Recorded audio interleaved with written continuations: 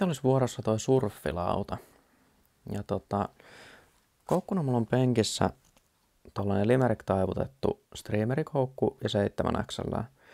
Näissä mä oon käyttänyt aika pitkävartisia koukkuja, se saa aika paljon lisää tota, hahmoa tuohon perhoon, eikä tarvi laittaa hirveän pitkää pyrstöä, eli sen perhon tartuttavuus vielä säilyy suht hyvänä. Tota, muuta tuolle koukulle on tehty, että väkänen siitä on painettu pois. Lankana mulla on kasinolla Veebuksen valkoinen. Joku kestävä lanka on tässä ihan omia ja mielellään tuollainen paksu. Tuohon tulee se foaminen selkä, niin jos käytetään tosi ohkaisia lankoja ja vahvoja, samaan aikaan vahvoja lankoja, niin ne sitten leikkaa vaan siitä foamista läpi. Että ennemmin mennään tällaisella paksulla, kun tässä ei ole niin, niin väliä. Mä vien sidontalangan tonne ihan taakse taas ja sitten tuun eteen. Pyrstöä mä teen suht lyhyenä ja aika kaposena. Ja siihen mä käytän ihan tuollaista Saltwater Angelhairia ja hopeena. Käy kans ihan normaali toi Hedronin Flashabow.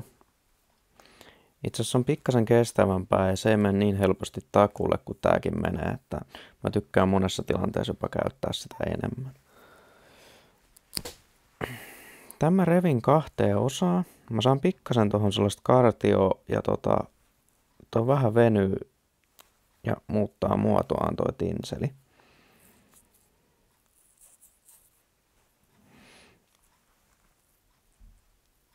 No sitten mä katon ton pyrstön pituutta vähän sen, että sitten ei tule mikään ihan mahdottoman pitkä. Sanotaan tollasena. Lyön sen tonne. Isken sen tuohon koukun päälle ensin ton nipun kiinni. No sitten mä vien tämän alaosan tästä nipusta ensin tonne perälle. Pyrin pitää sen tuossa koukun päällä. Noin. No sitten mä tuun sidontalankkakierroksilla takaisin tänne eteen. Ja tota, taitan tämän tinselinipun taakse. Tällä taittaa, niin mä saan vähän ilmavuutta tuohon, kun se on tavallaan niin kuin kahdessa nipussa toi pyrstö. Ja tää on aika liukasta kamaa tää tinseli, niin tota, se pysyy vähän paremmin, kun se on vaan taitettu tonne kaksin kerroin. Se voi kiinnittää myös yhtenä isona nippuna vaan tuolta eestä ja viedä taakse. Mutta tota, se kannattaa sitoa koko rungon matkalle kiinni, niin saa tasaisen pohjustuksen. Ja se tinseli kestää tuolla oikeasti kiinni. Että toi on keinokuitu, niin se on aika liukasta. No sit mä tälleen sahaamalla karsin tuolta pyrstöstä noin ihan ylimääräiset ja pisimmät tinselit pois. Kuitenkin niin, että se säilyttää ton kartion, että se ei missään nimessä ole sellainen tasapitkä tuo pyrstö. No sitten mä ruttaan tuota pyrstön materiaalia, niin mä saan siitä vähän lisää hahmoa irti. Se ei ole sellainen löysä viuhka vaan tuolla perässä.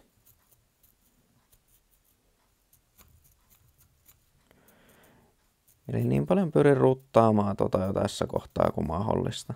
Se kyllä ruttaantuu sitten kalastuskäytössä ajan myötä vähintäänkin riittävästi. Kun mä saan ruttailtua sen, niin mä katon vielä kammalla, että sinne ei jäänyt mitään takkuun. Niin silloin ne kaikki kin, tota, tinselin kaistaleet tuolla elää hyvin mukana. Sitten jos tänne jäi jotain yksittäisiä kuidunpätkiä, niin niitä mä voin leikellä kans tuolta pois. Sitten mä vähän vahvistan tätä kiinnitystä. Eli käyn ton kerran läpi ton alusrungon. No sitten tonne tulee se kelluttava foami. Ja mulla on tällaista isompaa foomiarkkia. Anttosen Iirolta on joskus ostanut itse nää. Ja tota, Tätä on ihan kaupassa on pienempääkin palaa. Ja sitten useasti joku justiin myy tuolla Facebookin puolella tai PK-netin huutokaupassa näitä. Sieltä kannattaa kyttäillä.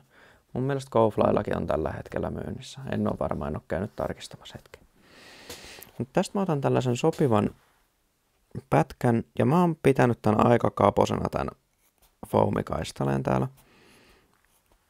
Ja tärkeämpää sen kelluttavuuden kannalta on se, että tämä on riittävän paksu tämä foami. Mulla tää on nyt 5 millistä. Sitten tota, mulla on tällainen sopivan pitkä pätkä. Niin ensimmäisenä mitä mä teen tälle, niin mä leikkaan täältä nämä kaikki kovat kulmat pois. Ja tässä mulla on pidempiteräiset sakset, niin mä saan siistimän leikkuupinnan tuohon. Ja jos ei ole pitkäteräisiä saksia, niin sitten vaan leikkaa niillä, mitä löytyy. Että mä vielä tätä lopuksi sytkärillä tasottelen, niin ei kannata sen puoleen kantaa ihan älytöntä huolta. Tuollaisen raamuodon, kun saa näillä saksilla tai millä nyt tykkää sitten leikata, niin leikattua tuohon, niin sillä mennään.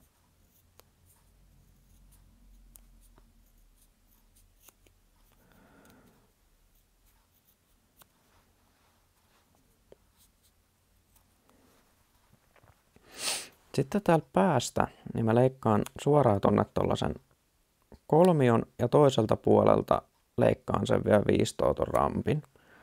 Niin se ei ole niin paksu siltä kohdalta. Tosta me laitetaan se kiinni. Tonne ei tule ihan älyttömän paksua kiinnitystä ja se näyttää vähän siistimmältä. Myös tuo alusrunko ei siltä kiinnityskohdalta kasvaa ihan älyttömästi. No, nyt mä otan sytkärin ja pikkasen tuolla liekillä koko ajan sitä liekkiä liikuttaen, niin noista leikkuupinnoista vähän lämmitän ja sitten käsissä pyörittelen tuota foamin palaa. Silloin mä saan tuota pyöristettyä tuota foamia tuolta leikkuualueelta, niin se ei ole ihan tuollainen leikellyn ja tasaisen ruman näköinen, vaan siitä saa tuollaisen vähän, vähän pyöreämmän. No sitten mä lyön sen kiinni tuosta rampista, minkä mä tänne toiseen vähän leikkasin. Ja koukun varren keskelle ja katon, että toi foami ei lähtenyt taittumaan kumpaankaan suuntaan, vaan se lähtee suorassa tuohon päälle. Katon, että se tuli ihan tonne taakse asti kiinni. Soruman näköistä, jos tuolta näkyy sitten vielä sidontalankakierroksia, että sitä ei ole kiinnitetty ihan taakse. Kuitenkaan ton pyrstön päälle tuossa foamin palaa ei pidä mennä kiinnittämään. Se sitten lässäyttää ton pyrstön ja tappaa siitä vähän eloa. Samalla myös sitä ryhtiä se painuu kasaan. Nyt tuo foamin pala on tuolla kiinni. Mä käyn taas eessä ja tuun takaisin taakse. Niin mä en pelkästään paksuna tuota takaosaa tuosta alusrungosta. No sitten tämän homman helpottamiseksi mä oon myös teen näitä niin, että mä duppaan tuosta samasta flasasta ton rungon pikaliiman päälle ja sitten harjaan sen auki. Mutta vielä helpompaa on, jos ostaa näitä tällaisia tai tekee itse. Tämä on tällainen niin kuin pitkäkuitunen senille, mikä on tehty tinselistä. Silleen, että nuo kuidut on ihan pitkänä tuolla välissä.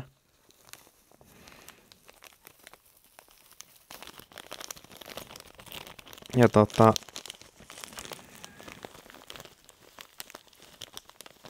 yhden tällaisen pätkän pyrin tuolta itselleni saamaan. Ja täällä on tällainen metallinen ydin. Tämä myös helpottaa tuota sidoksen kestävyyttä. Se dupattorunko ei ole niin kestävä kuin tällainen metallinen. Ja ensimmäinen komponentti tietysti, mikä tästä hajoaa, niin on toi selkäkilpi sen takia, että se on tuota foamia, niin se ei ole mitään älyttömän kestävää kamaa. Tämä kiinnitän tästä ytimestä tänne koukuvarren sivulle. No parhaani mukaan mä pyrin tasottelemaan tuota alusrunkoa ja vähän tuossa eessä tuota eteen muodostunutta ramppia, kun toi tinselinippu alkuun käännettiin tonne. Tällaista ramppia ei tule, jos kiinnittää nimenomaan sen yhden nipun ja leikkaa sen tuolta eestä viistoon. Sen takia se on toisaalta myös parempi.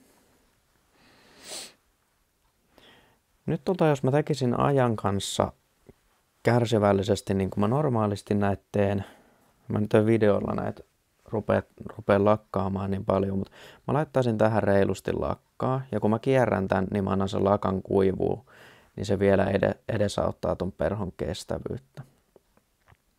Jos tekee oikein pienet, pieniä surfeja, niin sitten ei kannata ihan älyttömiä lakkailla. Se lakka jonkun verran tuo painoa siihen ja heikentää sitä kelluvuutta, varsinkin jos se toi selkäkilpi on mikä ihan älyttömän paksu. Kuitenkin tämän senillen tai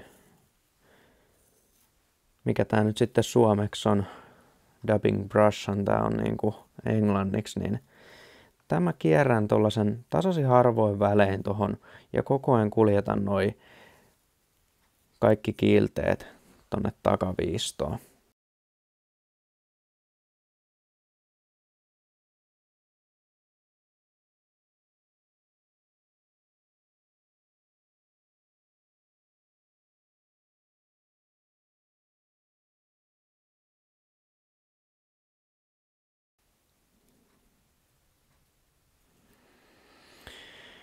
No sitten mä käyn neulalla vaan läpi tämän rungon, että tänne ei ihan kauheasti jäänyt mitään jumia.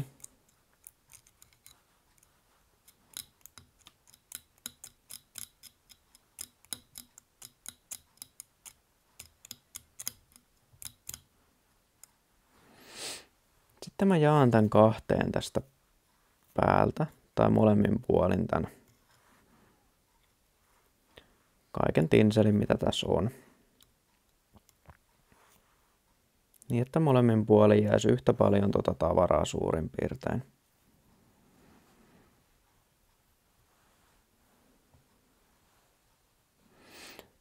Tämä myös lisää tämän sidoksen kestävyyttä.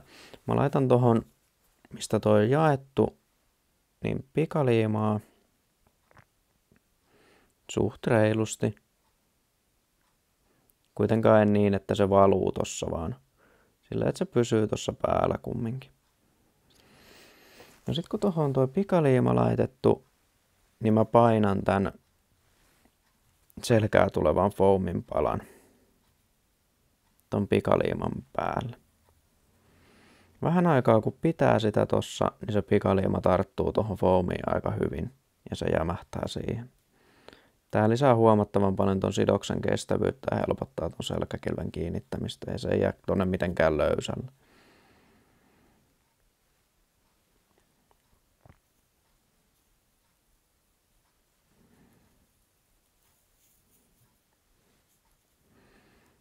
No sitten kun tuo alkaa pysyä tuossa jo omineen hyvin, niin yhdellä löysällä kierroksella kiinnitän ton tuosta eestä ja sitten pikkuhiljaa alan ottaa sidontalankakierroksia ja kiristämään niitä.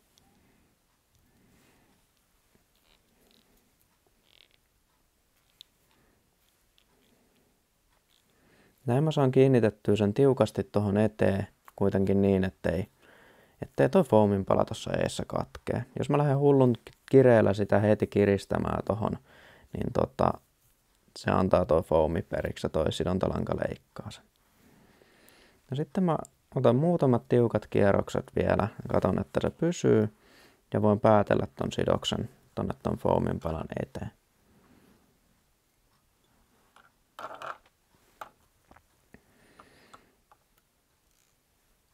Eli kaikki tinselikuidut pois tieltä. Ja pyöritän tuonne piilosolmun. Ja kiristän sen hyvin.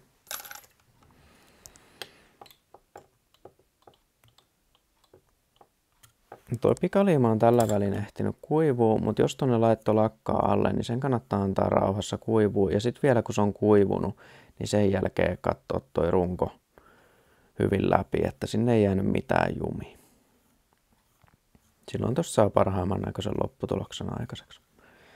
No tässä kohtaa tämä näyttää aivan hirveältä, mutta tota, nyt mä leikkaan tämän muotoa.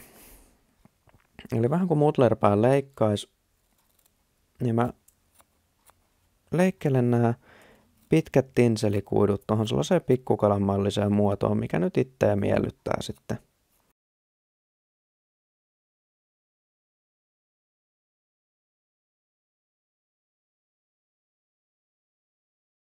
No sitten tuosta eestä mä leikkaan ton läpän niin, että siihen jää tollanen pien etuosa, mikä vähän levittää vettä tuossa eellä.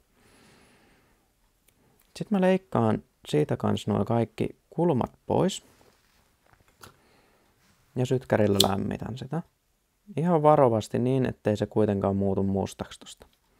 Sitten painelen siitä noita kulmia vähän kerrassaan pois. Aina vähän lämmitä ja painelen.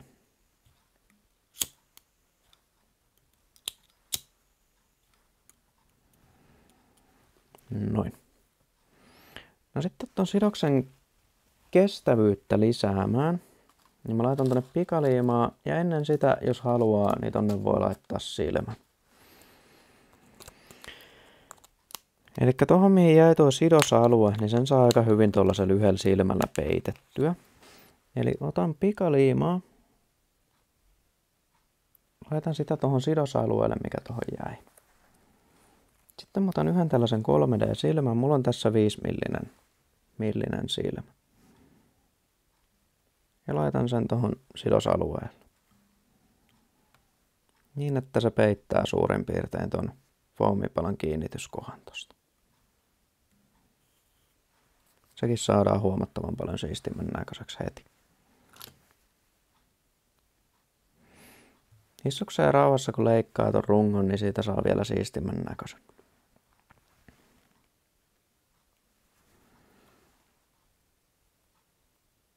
Sitä voi vähän tässä pikkuhiljaa aina korjailla sitten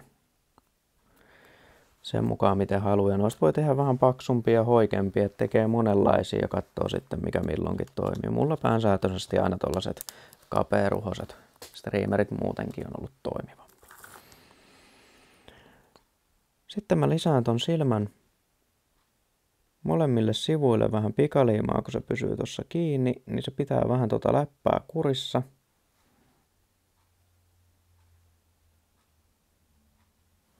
Sitten mä laitan ihan ton silmän päälle tuota pikaliimaa, niin saan siihen tuollaisen kiiltävän pinnan, mikä säilyttää ton kiiltonsa.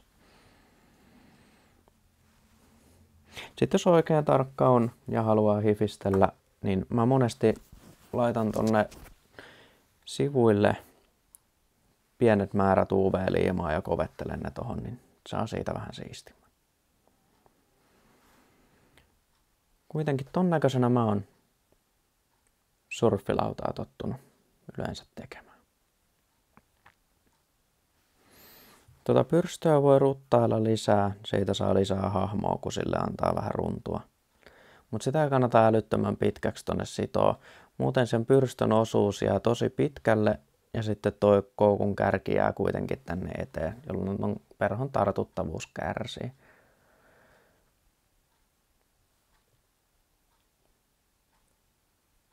Ei mitään. Sellainen on surffilauta. Jos haluaa tai haluaa vähän pilailumielessäkin tehdä, niin tuohon päälle voi kirjoitella kaiken näköistä tekstiä menemään. Sitten jos haluaa vähän tummempaa yläpuolta, niin tuon voi vaikka tussata tuon toisen puolen foamiin myöten ja vähän tuon tinseliitosta mustaksi, mutta en ole nähnyt tarpeelliseksi sitäkään. Ei mitään, mennään näillä.